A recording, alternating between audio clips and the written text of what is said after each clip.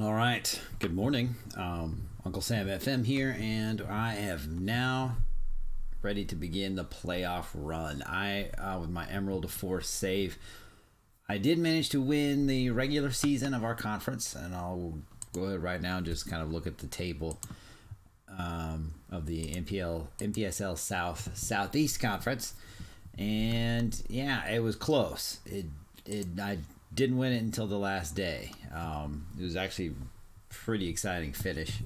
As you can see, I won eight, drew four, lost two after a um, what was a, a great start, and that's when I won the league. Was the first five or six games. Um, kind of hit.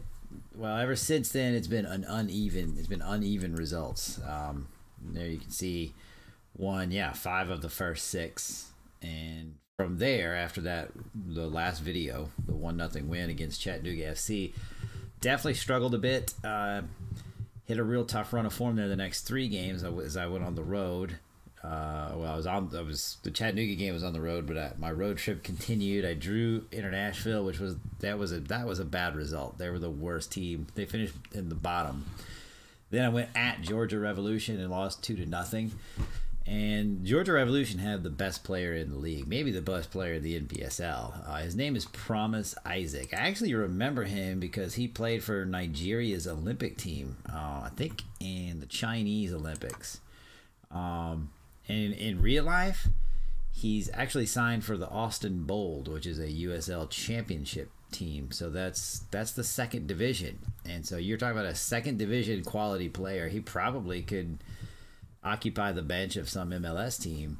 And here he is with the Georgia Revolution. And that actually was true in real life. He played uh, the 2018 season for the Revolution. And so he is by far the best player in our league. And um, we didn't make things easy on ourselves because we gave them a penalty early in the match. And he, of course, took it and hit it. And we lost that game 2 to 0. Um, then we went to Greenville FC. That's another team. It finished in the bottom four, and unfortunately, we ended up with a draw there, which was that's you know not was not a great result. That we really made it hard on ourselves with results like this against some of the worst teams. Um, but then we came back home. Big win against New Orleans Jesters. Um, didn't win by a lot, but it was an important win. Um, so we got a 1-0 win there. Then played Chattanooga FC again. Brought at home. We dominated this game, but we couldn't find the winner, and so that was two points we dropped. I believe that was the first dropped points at home that we had this season. Um, then we went on the road to Asheville City. Big win there. Um, that was you know so three points uh, on the road kind of made up for some of our bad results at home and um, then played Atlanta SC again. They have the best squad. We had this game won till a penalty in the 88th minute led them steal a point. And um, really, that result made the last match kind of desperately important. And that was a home match against the Georgia Revolution and against Promise Isaac. Luckily for me, Georgia Revolution had literally played a game like two days before. Um, so fixture congestion hurt them. Yeah, it was well Atlanta SC, and they lost that game five to one. Promise Isaac, of course, with the team's only goal, and um, so they lost five to one. Then they had two days, and then turned around and played us um, on our field, and we were able to mostly control the match. Um, they never really threatened. The only the only real chance they created was on a corner kick and so we were able to win two to zero, and that was that was the decider um, because Atlanta SC um, obviously um, won their matches, and so it was a it was a one we won we won the the conference by one point, and I really needed that number one seed because Atlanta SC finished second. Georgia Revolution finished third. I really wanted to avoid playing either of those teams in the conference semifinal. Uh, so now we get Chattanooga FC, which is probably they probably still have a better roster than I do, better squad, but um, they're still a more desirable desirable opponent than either Atlanta SC or Georgia Revolution. And so, um, and you know, the table was up and down, but the top four teams probably got through. Um, New Orleans, Greenville, Asheville City, and Inter Nashville were probably the worst four teams in the conference, and Atlanta SC, Georgia, us, and Chattanooga were probably the best four. So the right four teams got through. Um, maybe not in the right order, but that works for us because we're the number one seed. So uh, we head into this match. Of course, big injury like two days before the playoff as uh, Kasia Wallace um, went down with an injury and he'll be out for probably two weeks, probably most of the playoffs. I won't get him back. If I get him back at all, it won't be until the um, the region playoffs. So, with that said, let's see if that even matters because uh, our our semifinal match is against our arch rivals, which uh, we consider our arch rivals, the uh, Chattanooga FC. Um, again, best club probably in NPSL. They have a really good squad. We've not been in great form um, for for a while. We haven't lost a game in six, but that's you know we're not finishing um, our chances very well. Um, as a matter of fact, the chances we get, we're not even putting on target really. So it's um, and that's probably a little bit down to our quality up front. Um, it's just it's not been. I feel like we could have been doing better. Like I'm getting my my striker has only one goal all year. That's not going to get it done. Um, he's got his finishing is relatively low. I mean nine not awful for this level, but I could really use it to be better. And you know, low determination, um, composure seven, concentration three. These are things that are kind of important for a striker, and he just does not have the quality there. So, so I've decided when I go to the off season, um, definitely need to improve in a couple areas: center back, right back, and striker. Those are the big. I feel pretty good about my midfield and my wingers, but um, need somebody who can finish goals and my guy's not getting it done. So we're not scoring a lot. Um, we do have one of the better defensive records in the league. I believe that's because we keep the ball pretty well. Um, but, you know, what good is having the ball if you can't put it in the net?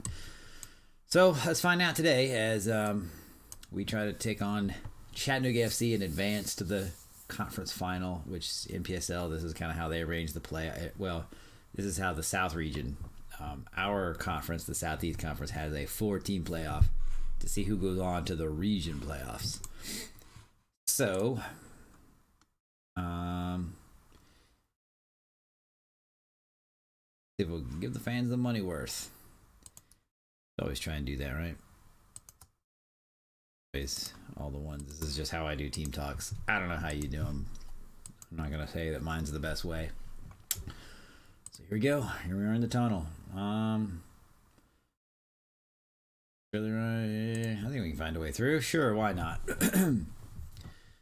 a big match, first uh, first playoff match with Emerald Force. Um, I'll say what I'm looking for the mid, you know, next season. I am going to keep an eye on the job security, job openings. Um, right now, um, there wasn't much. I'm definitely not going to take a lateral move. And as I said in an earlier video, I'd like to skip the oh we got a penalty. Let Scott Wright take it. Do not let Rast take it. Yeah.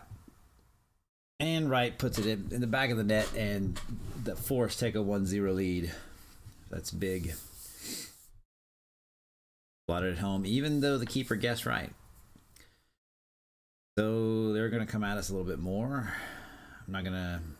I'm not going to make any rash tactical changes, but think about it at least. See, like that's Ras. He just launches a hopeful shot from distance, and he's just he's not gonna make those. so yeah, I uh, will keep an eye on job openings. I I think my ideal next move would be maybe to one of the college teams. Um, either that or ooh, maybe one of the third division teams. There's uh, three third divisions in in my save and in real life. Um, the NISA, USL one shot by Christensen, and um, oh the NPSL Pro. So hey, maybe Chattanooga FC will be my next job. Chattanooga FC play will be playing in the NPSL Pro next season. Uh, in real life, they're calling this first uh, season of the NPSL Pro the Founders Cup, but from there on, it's supposedly it's going to be a professional league. uh, American soccer is so volatile in the lower levels that you really never know how things are going to shake out. The NISA was supposed to start like two years ago, but things happen, and so it hasn't even started yet. And there's only I think two teams that have actually branded, so so we'll see. Um, but yeah, I don't intend on staying with the force long. Ooh, Murray with a shot off the bar that Craig saved. Crags. So really, we're dominating this game. Um, Chattanooga FC. For some reason, they they've put a team on the field that's really not fit, and there's no reason for that to be true because we all played this, uh, the, our final match on the same day of the season, so on the same day. And Mendoza Anibal, I believe that, yeah, that's his second goal. Um, goal from a center back on a free kick. Which I don't know how you guys feel. It seems to me like I've read a little bit. I think this is from what I've read. It's true. There, goals off set pieces are more prevalent in FM19 than in the past. Well, we're gonna get a card.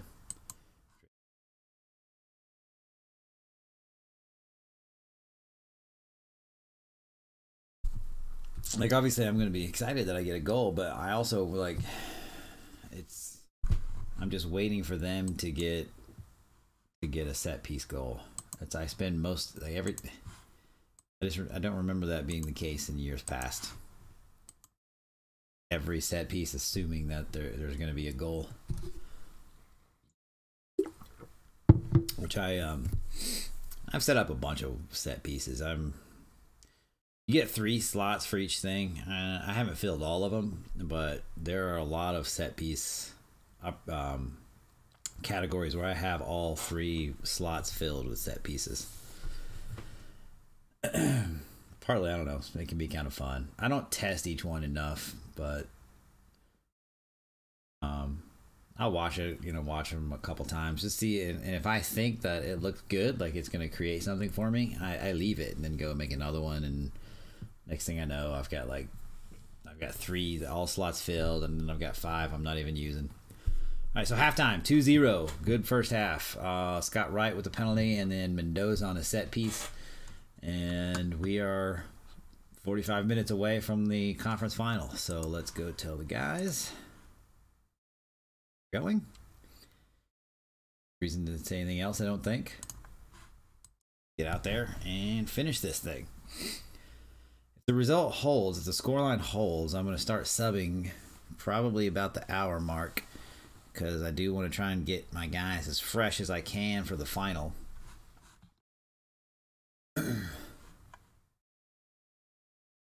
this will be so I'm I did win the volunteer shield, which it is a real life um, trophy. It's a it's kind of a rivalry trophy.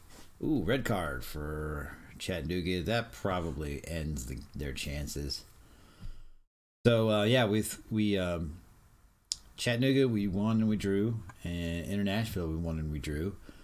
So those are the three teams that are in the Volunteer Shield, and with our eight points, we would be the winner.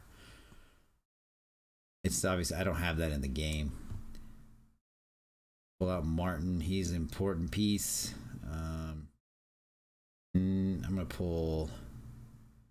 I'm gonna pull Christensen because I don't want him to get a red card and be out of the final for something stupid. I Actually, had his ease off tackles on. Pull that off. so yeah, won the volunteer shield. This this match it's a playoff match, so in real life it would not count toward the volunteer shield, but it's it's still good to end your rival season. and uh, Chattanooga FC, as we as I said in a previous video, probably the best overall club in Major League Soccer, Major League Soccer in the NPSL. Can't lose him. I hadn't because of my injury to my center back. I had to move the guy who usually plays left back into the middle, and so can't afford to lose any more along the back line. Johnson to Murray. I feel like yeah, my tactic works pretty well. Ooh, and we have another penalty, I think. Chattanooga FC, the wheels are coming off for them. They're they're unraveling. And Wright with a brace.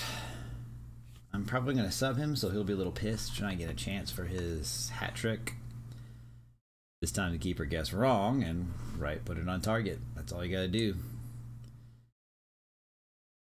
So this could be a really lopsided result.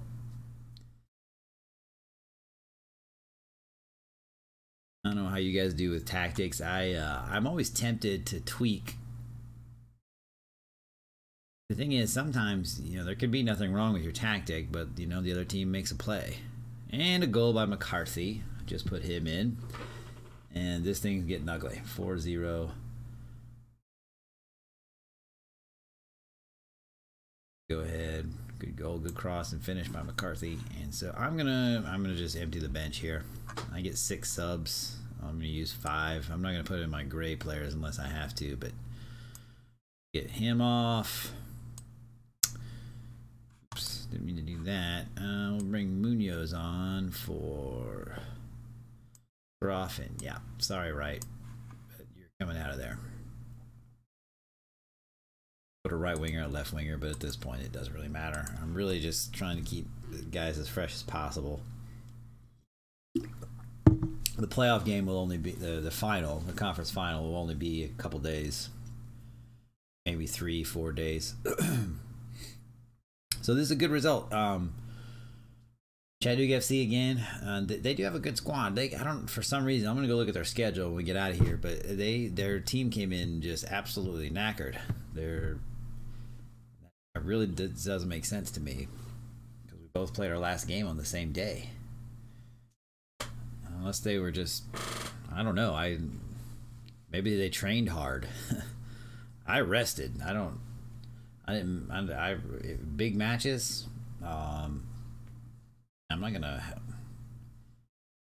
I honestly don't know. We'll see. It, it's semi-pro, so you can only you can only train two days a week. So that really I, training can't be the reason. So there it is. Um, clearly you can see we were dominant. Uh, 19 shots, uh, eight on target. I really want to get that over. Like only eight on target. That's I need. I need that to be up 10, 12 when you get 19 shots. If you're not even testing the keeper, what's the point? Uh, possession 62%. Um, clear cut chances. We had two. They had zero. Um, yeah. So you know, and, and it could have been Probably could have got another goal or two if we'd left uh, our starters in the whole the, the last half hour. But again, I'm looking ahead to the championship. All right, uh, Atlanta SC won on penalties. No surprise there. So they they will be our opponent in the South region, Southeast final. Um, just kind of looking around the league. Fort Worth advanced. They'll be playing uh, defending South Region champion Midland Odessa. And in the Heartland, CA St. Louis with a huge win over Little Rock, and they'll be playing FC Wichita. FC Wichita is another um, strong club in uh, NPSL. So, and the Sunshine, the Sunshine Conference does not. Um, they don't have a playoff, so they've got. Looks like they've got some matches to play yet. Uh, Palm Beach and Miami United has one more match, but it looks like Miami FC is going to. Uh, advance. They don't have a playoff, so they'll just Miami FC will go right to the South Region semifinal. So yeah, exciting win. Um, let me go look and see why Chattanooga. Why in the earth? Well, it was only it was only three days ago. I I, I, I just don't get how though I was in such better shape than them. They didn't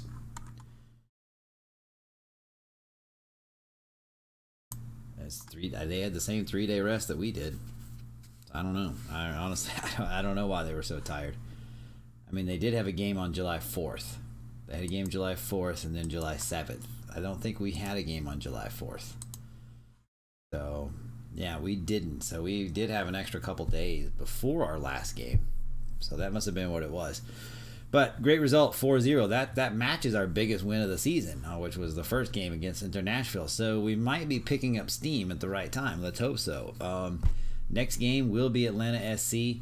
Probably won't live com that one. Um, if I you know, if I lose, we'll just go right into the um, postseason video. And if I win, maybe we'll do the South Region semifinal. Um, so Uncle Sam FM signing off. We will make sure to see you guys next time. If you have any um, suggestions, please post them. Any comments? Uh, always interested to read criticism. Um, may help make this better. I'm not like a professional video um, producer, but uh, I think this is a unique concept. Something that not many do. I've not seen anyone play an NPSL. So, um, yeah, if you like it, shoot a like, subscribe, yada yada. So we'll see you next time.